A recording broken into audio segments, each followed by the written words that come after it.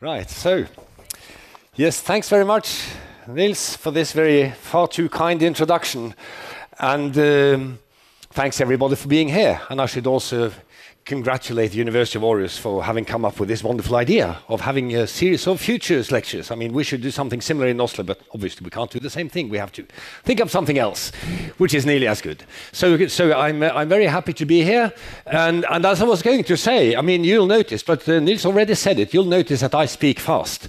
Uh, and I suppose I should apologize for that, but I don't think I will, because so do you. You speak fast as well. Probably more than 50% faster than your grandparents did.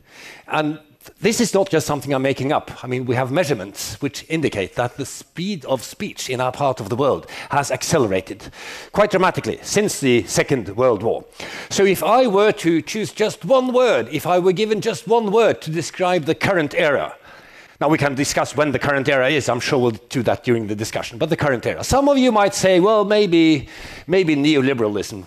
Um, maybe the Anthropocene, which has become a very sort of popular and poignant and productive um, word recently. Some who may take a slightly shorter um, time perspective might say Islamophobia or identity politics. But if I were given just one word, there's no doubt acceleration.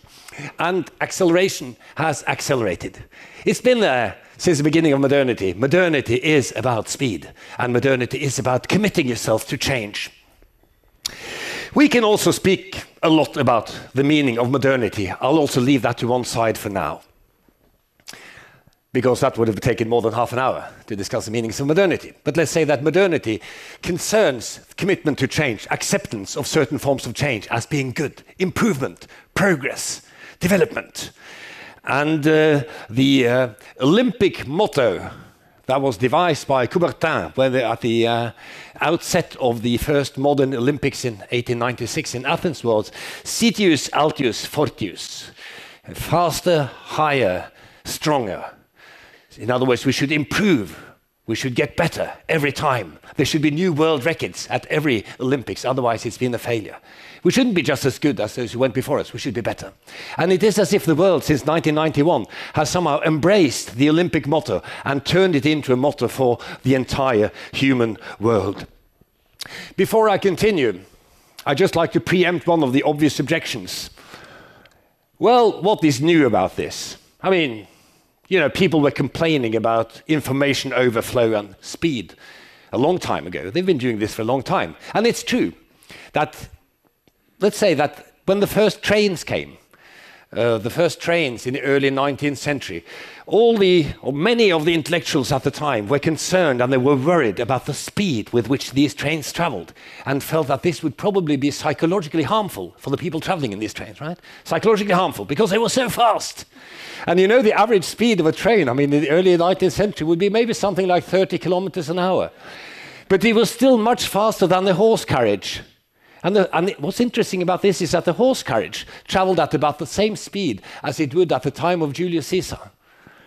You know, so, uh, so the speed of, of transportation had been almost stable for a long time, and then all of a sudden it started to accelerate in the early 19th century. So, I mean, speed has been a source of anxiety for a long time. And uh, one particular form of speed that I've been especially interested in for some years I'm not going to talk a lot about that today, but I'll mention it, is to do with information, the amount of information, the feeling of information overflow. What made a rather good American journalist called Nicholas Carr to write an article in the Atlantic Monthly some years ago, which went viral, as we say nowadays. Things suddenly started to go viral. They didn't go viral in the early 90s, but they go viral now, okay?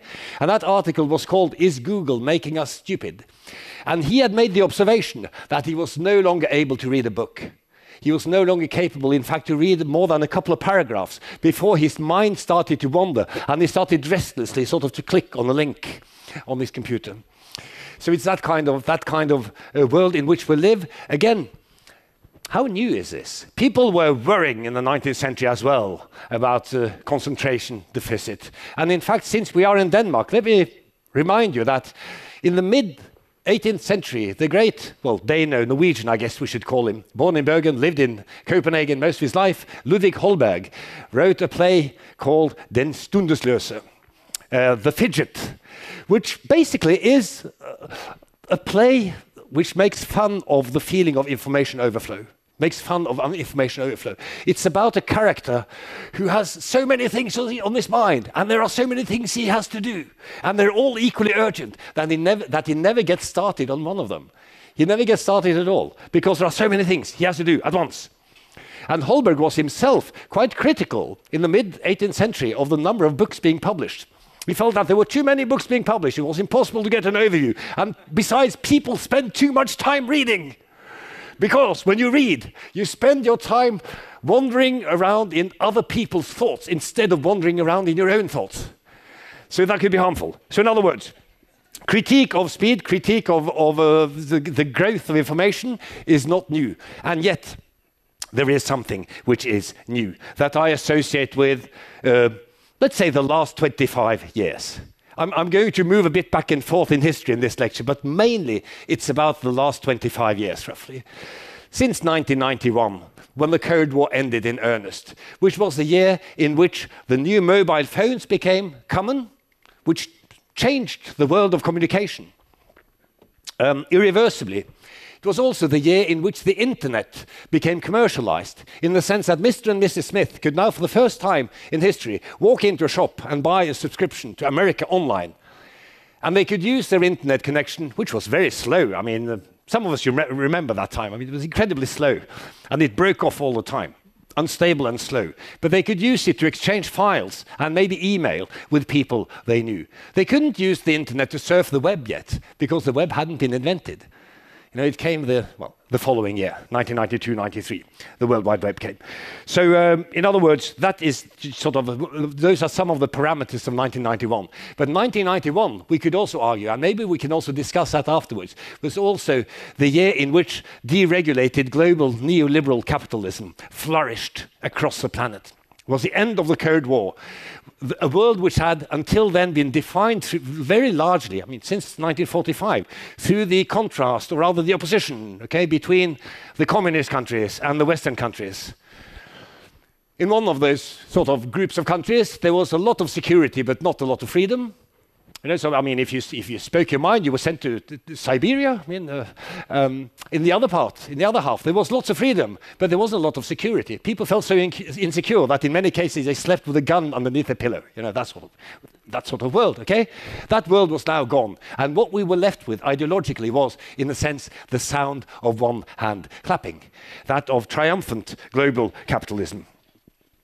Um, and the world that I am describing uh, is really a world which is produced by neoliberal global deregulated capitalism plus uh, information technology, enabling instantaneous global communication uh, in real time. So this is. Um, uh, this is a kind of this is a kind of world, and uh, uh, since um, we see the same recurring patterns in lots of areas, if I had had a blackboard here, but I don't. I mean, it doesn't really matter. I can draw it in the air. Okay, um, I would have drawn an exponential curve, a curve which looks like this, and I would then have plotted various developments or various changes, accelerated changes uh, in in the world on, uh, on on that on that graph.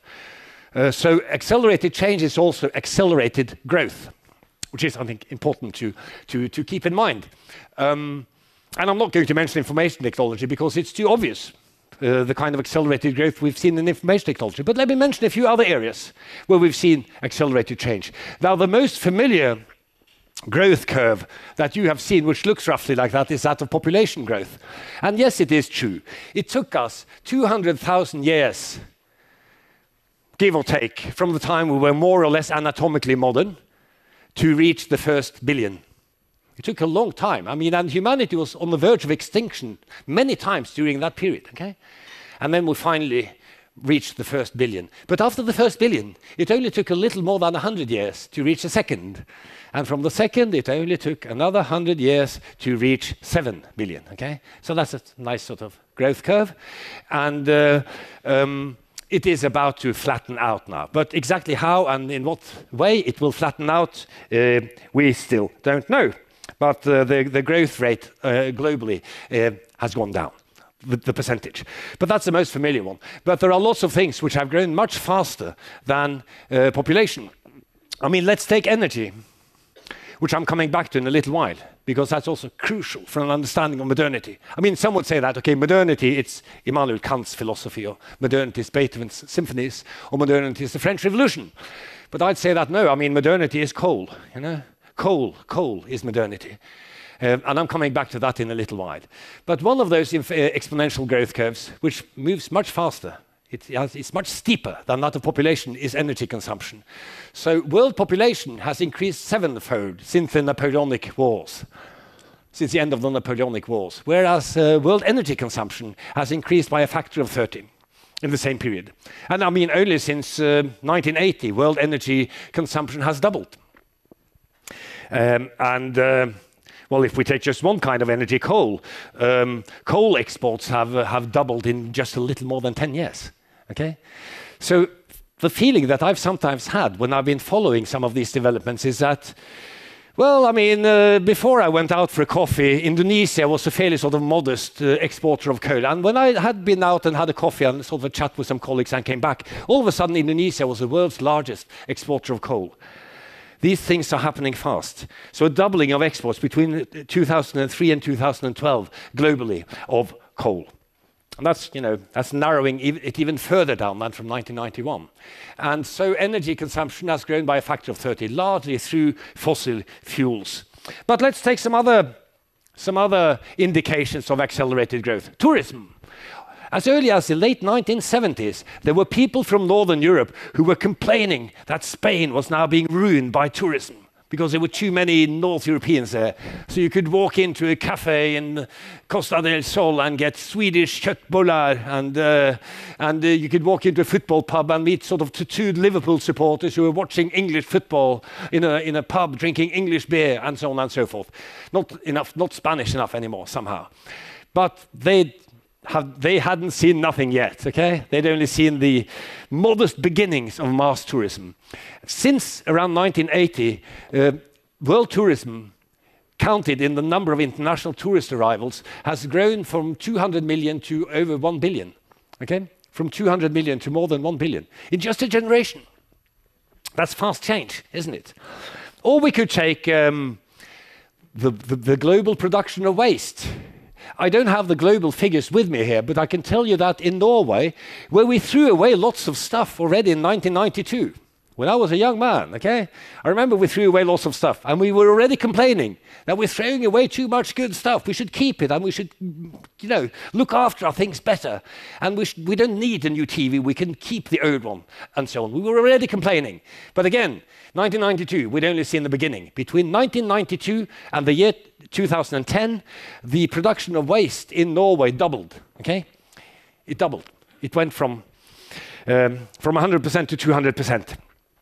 Or I could have spoken about species extinction, the way in which human beings um, drive other species to extinction, which is also a, line which is slightly steeper than the, that of, uh, of human population growth. Or, I mean, the last. Uh, the latest statistic I'm collecting, you see, I'm collecting these things, okay?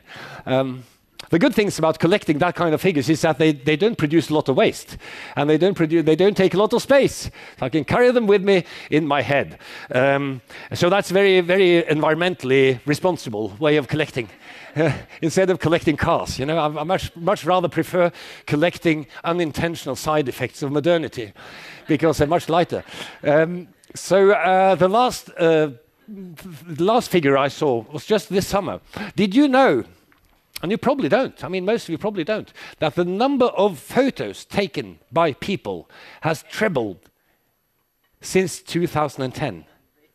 It's trebled since 2010. In 2010, only 40% of the photos taken were taken with a mobile phone. By 2015, uh, the figure is estimated at something like 79%, okay? Almost a doubling of the proportion of photos taken are now taken with a mobile phone. Uh, so that's and, and, and the number has trebled from 0.35 trillion to 1 trillion photos. 1 trillion photos. I mean, these, these figures are, are so mind boggling that they don't really mean anything. So let's return to coal, and I'll then speak a little bit about growth. Um, coal, I say, is modernity. And in fact, the growth of the kind of world in which we live, which enable me to stand here and which enable you to sit there in a nice, cozy, warm room with electric lights and, uh, and with high tech recording the lecture and the subsequent discussion, is a child of coal. Right? The Industrial Revolution, uh, which uh, came about uh, first in, in Europe around the year 1800, give or take a few decades, flourished, blossomed in the, around the early 19, 19th century, was completely reliant on coal. And if we look at so the, the, first, the oldest modern industries in the world, they are mainly located near good coal deposits. Good coal deposits in the sense of being easily accessible, like the English Midlands. Um, uh, what is now known as the Rust Belt in the United States, where there were rich coal deposits. Um, Belgium, uh, uh, the Ruhr Valley, etc coal deposits. Had there not been coal, the Industrial Revolution would have been called off after just a few years because all the trees in Britain would have been gone. Right? Had, they, had they been forced to use wood, which is another form of, of stored sunlight, but which had been stored uh, much, you know, for a much shorter period of time. Coal has been stored for a long time. And as I, as I always tell people, of course, coal is renewable energy. You just have to be very patient. Because, I mean, some of this coal is 300 million years old, okay? But, I mean, if you just wait, it will come back. But you have to be patient. So it's renewable, but um, of course not in the same way as some other forms of some other forms of energy. And what has happened in the last few years in the global conversation about who we are and where we're going, if, if there is such a thing, and I believe there is, increasingly there is a global conversation with lots of voices, some of them contra contradicting each other, but often agreeing on what subjects to discuss. And what has happened somehow to the global conversation about who we are and where we're going seems to me to be that what used to be the salvation of humanity for 200 years has now quickly become our damnation namely fossil fuels. And this creates huge problems for people who talk about progress, development, etc. What, what's the salvation of humanity for 200 years? Fossil fuels, which gave us um, so many energy slaves that they're almost un un uncountable, um, which enabled the kind of world in which we live is now becoming our damnation due to the long-term, large-scale and extremely dangerous unintentional consequences in the form of Pollution at the local level, of course, the destruction of habitats also at the local level, but at a higher level, the global level, uh, climate change. So um, this is a dilemma in which we find ourselves, and I think it's the it's a, it's a, it's a foundational it's a foundational story about the early 21st century. Is what on earth are we going to do with this situation? How are we going to get out of the corner into which we've painted ourselves? The uh, narcotic addiction to fossil fuels and to accelerated change and to progress. Now, some might say that, well, I mean, um, yeah, but you know, uh, they'll, they'll come up with something. I mean, they always did in the past. And possibly they did. But one thing is certain, and which is that growth cannot continue. Continuous growth is absurd. There is a story do I have the time to tell you? Yeah, I can tell the short version of the story. There's a story about the man who invented chess. And he also seems to have invented the exponential growth curve. Uh, and the king who uh, had commissioned a new game, a new board game, and he was an intellectual king. He was very excited about this new game. Uh, so he told the inventor that you can have any reward you like. And the inventor said that, no, I mean, uh, Your Majesty, I'm a, I'm a modest man, so I only want one grain of wheat for the first square, two grains for the second, four for the third, 8, 16, 32, 64, 128, 256, 512, uh, 1024, 2048, etc. And the king, relieved, said that, yeah, of course. I mean, and, and he then set his mathematicians to work on how much, how big a sack of grain this inventor should have. And as you may know, chessboard is 8 times 8, 64 squares. And by the time they were just halfway, they realized that uh, this man, he had demanded far more wheat than the entire production of the world. You know, and that's the logic of a certain form of growth, which is a very aggressive, virulent form of growth. But even if we have a more modest form of growth, let's say a growth of 4.5% a year, which is estimated by economists as being healthy, you know, for, for a so-called developed economy, we quickly see that continued growth over a very long period is absurd. And let me give you just two examples to illustrate this. That continued growth over a very long period is absurd. And there are other objective reasons for why it is absurd also, which I'm going to mention. Um, and I've got this example from the investment banker Jeremy Grantham, of all, of all people, who made the calculation of the possessions of Egyptians in antiquity. Suppose the, the total possessions of all Egyptians in the year 3030 before our era, before Christ, uh, amounted to one cubic meter. Okay, the entire possessions of all Egyptians in the year 3030 before Christ, one cubic meter. And but they had economic growth. You know, they had good economists who wanted to see the black figures and not the red, so they needed growth, okay? 4.5% a year. So their possessions grew by 4%, 4.5% a year until the uh, Battle of Actium in 30, 30 years before Christ. That is to say, for 3,000 years. For 3,000 years, their possessions grew by 4.5% a year. And okay, so um, how much did they have then at the end of this sustained period of economic growth? Maybe, maybe the, their possession covered the entire surface of the Nile Delta, or maybe the entire surface of Egypt, or maybe even Egypt plus the Mediterranean. No. Um, and I'm not going to do the calculation for you because I can't, but I trust the people who've done it. Their possessions would cover 2.5 billion billion solar systems. Okay? After 3,000 years. So, I mean, good luck with growth. Uh, and I mentioned this. I mentioned this to a colleague back home last night when I was preparing this, uh, putting the final tweaks to my presentation today. And he's a, he's a professor of economics at the Norwegian Business School. Um, and, uh, and he made his own calculation. His name is Atle Midthun. He made his own calculation. He said that, okay, if when I was 20 years old, I ate uh, 0.75 kilograms of food, 750 grams of food a day. Um, my flat was 75 square kilometers, which is a good size for a flat, you know, for a single person, okay? 75 squares, no, kilometers. 75 square meters. He had a nice sort of two or three room flat, uh, and he had one car.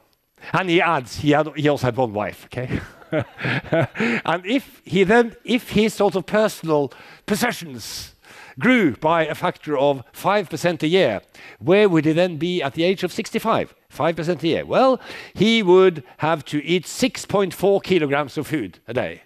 Um, he would have 8.5 wives, um, 8.5 cars, and his, he would have a flat of 641 square meters. So in other words, um, just in the space of 45 years, we already see that um, growth is, um, sooner or later, uh, growth is going to, to end. And it's not going to be very helpful uh, to realize that the growth that we are witnessing today is still deeply committed to fossil fuels. I mean, as I said, coal and its close relatives, uh, natural gas and oil. Um, yes, uh, there are other energy sources. And yes, they can be utilized. But so far, um, we don't see much happening in that realm. Of course, we do see it somewhere. Uh, but for the time being, there's still growth in, uh, in our consumption of fossil fuels. And the growth is really very fast. As I said, the doubling of coal exports between 2003 and 2012 testifies to this. And now that it has slowly dawned upon us that this, which used to be the recipe for success, the recipe for the good life, and for progress and development is now quickly becoming the recipe for our own disaster. We are um, find ourselves in a double bind. Uh, as the uh, anthropologist and system theorist Gregory Bateson calls it, a double bind, which is a, somehow a dilemma, which is a very deep dilemma, because no matter what you do, it's wrong.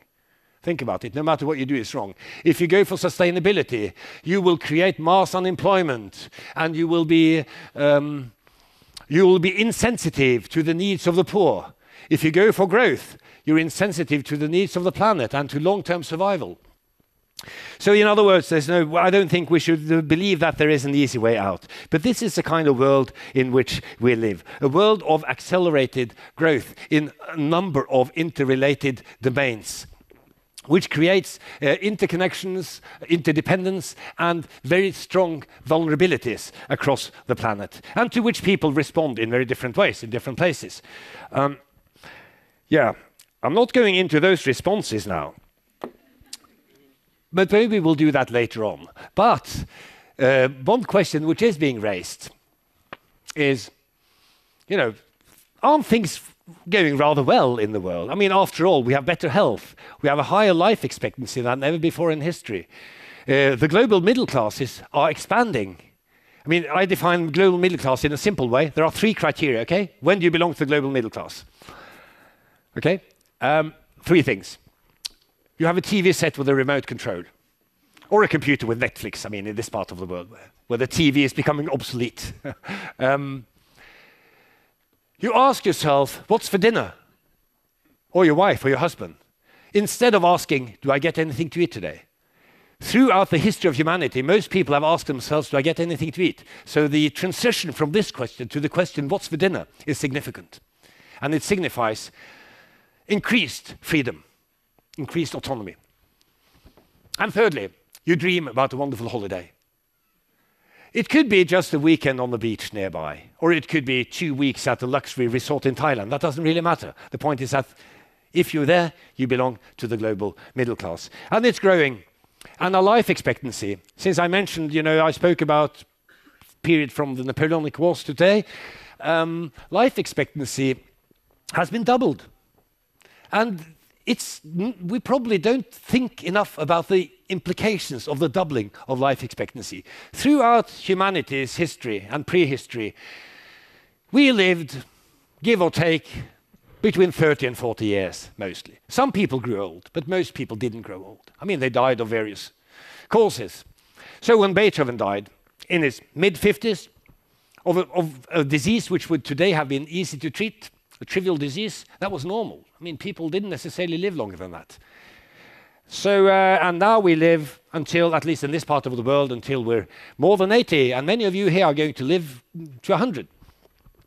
As, as late as the 1920s, the American demographer Louis Dublin predicted that the highest average longevity you could expect in a population was 64 years. That was the highest you could get because there were some biological um, limitations. Now, he himself lived to, I mean, almost 90. Um, okay, but that was 64 because at the time, average life expectancy in the United States was 57. Right? So, in other words, isn't there a lot to celebrate? And I, I, should say, yes, there is a lot to celebrate. But there is this feeling which is being um, somehow strengthening by all these converging tendencies that I, uh, I, that I have mentioned and many more the production of waste, the consumption of energy, um, the, uh, the, driving of other species to extinction, uh, the expansion of extractive industries, and the increased mobility, which again is also bad news for the climate. Uh, the convergence of all of these tendencies leads us to somehow being reminded of something we used to say to each other in the 1970s out of ignorance, but which may now perhaps be said with some more substantial um, knowledge, namely that we are standing on the edge of a cliff and about to take a long step forward. so, uh, in other words, um, we need to do something. The question is what? And the jury is out on this, or rather, there are several juries with different bids as to what we should do. One family of um, approaches to the dilemma in which humanity finds itself. Um, and to many of us, I mean, the least attractive, but it's worth taking seriously. We should take all these options seriously, okay? Nobody has the answer. But maybe many people have a small bit of the answer. One school holds that we need to stop having children and consume less. okay? At least stop having as many children, because there are too many of us. Stop having children and can consume less. The Malthusian approach, you know, Thomas Malthus, um, who wrote, interesting enough, his essay on the principle of population just at the beginning of the exponential population growth that we've seen in the last 200 years. And Malthus's view was that um, um, food production would not be able to keep up with population growth. And he saw an exponential growth curve, what he called geometrical growth in population 1, 2, 4, 8, 16. Whereas food production, said, uh, grows arithmetically 1, 2, 3, 4.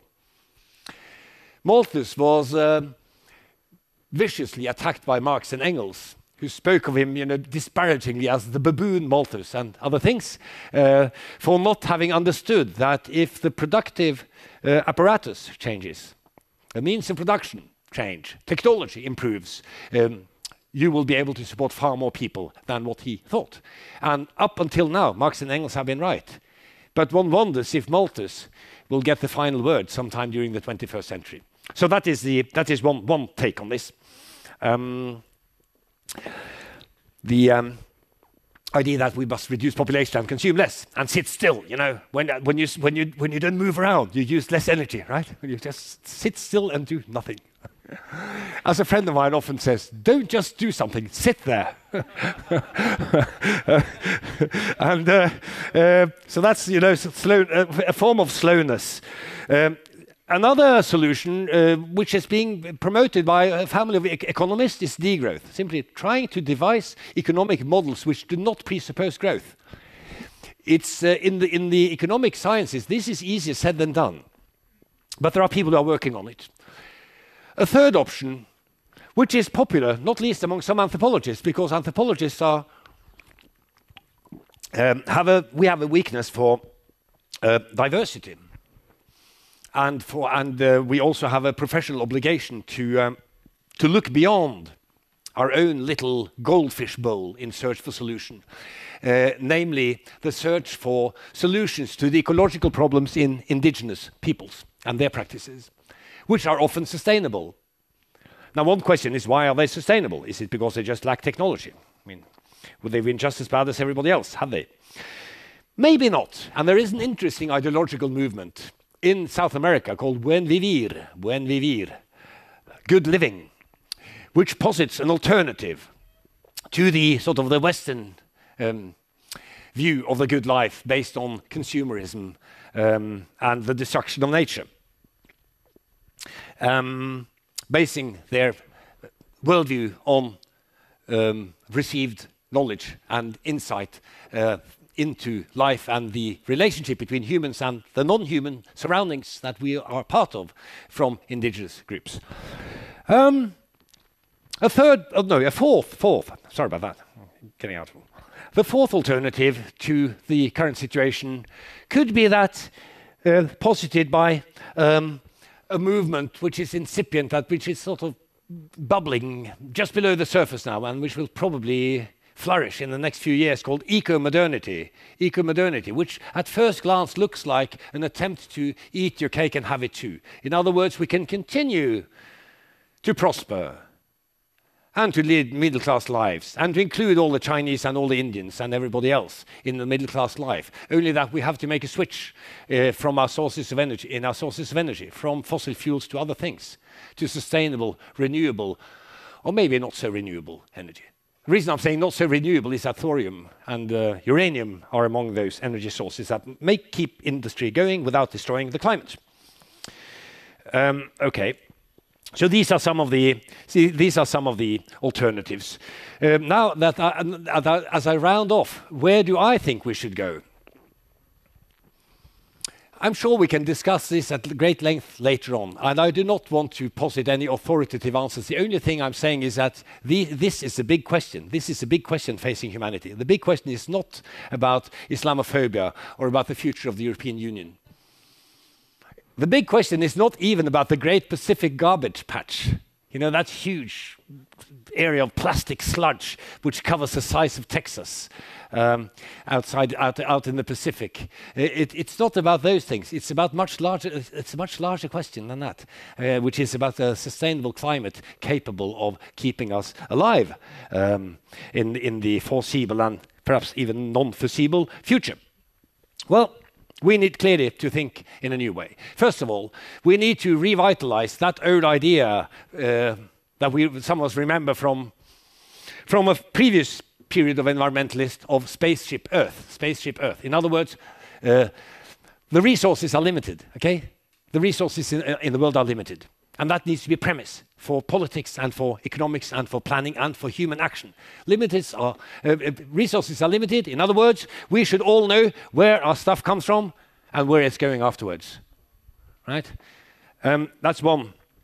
Um, the, the, the, the, myth of unlimited good, which we still see in, um, in some parts of economic and political thinking, needs to be debunked. Secondly, we should probably or I should say, we should surely shift towards what anthropologists often these days speak of as a human economy. An economy which is based on the assumption that the reason that we do things, the reason that we produce and consume things, is not to generate profits but to satisfy human needs, which in turn are often culturally defined. Everybody knows this, children know this, but they pretend to have forgotten it when they grow up. That what means, what, what matters, and that's my sort of a corollary to the uh, human economy. What matters to human beings is not the amount of stuff you've got, it's your relationship to other people. Everybody knows it, but we pretend to have forgotten it. So, in other words, uh, a human economy based on the satisfaction of human needs and human needs which are under, properly understood and not on generating profits. Relationships, not things. And um, thirdly, from this, it follows that we should probably think about economy, rather about the market sphere, um, as ideally having cheap services and expensive goods. Things should be expensive and services should be cheaper.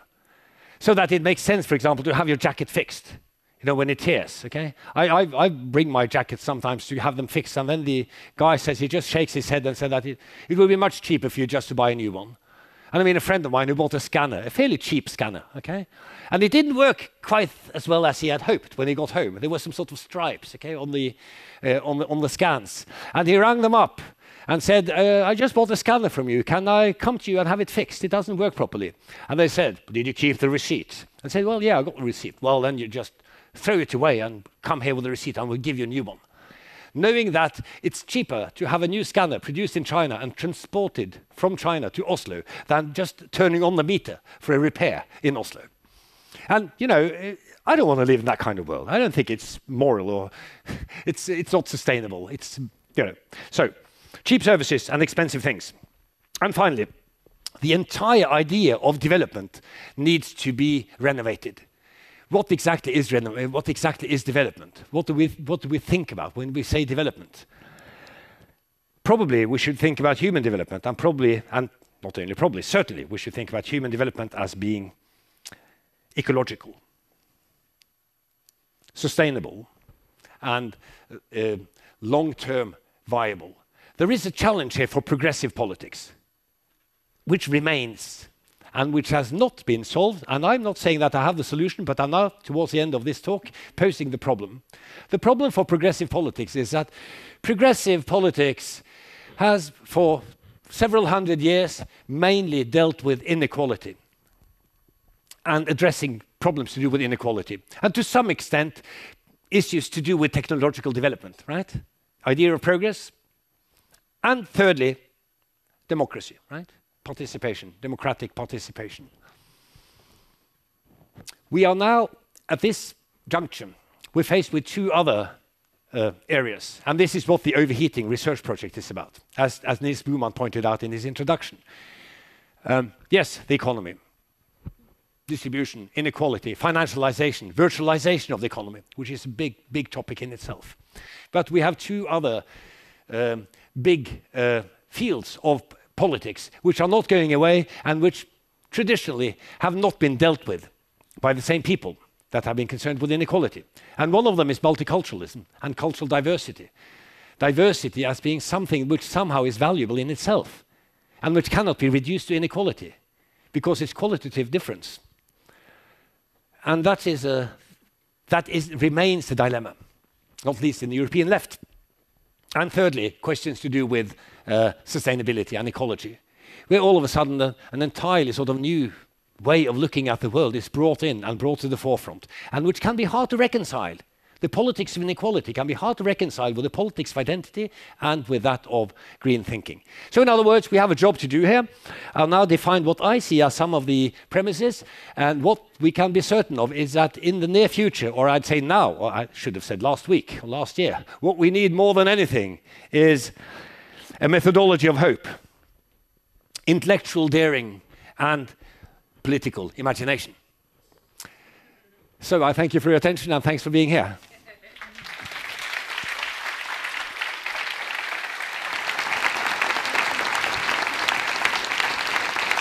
Thank you.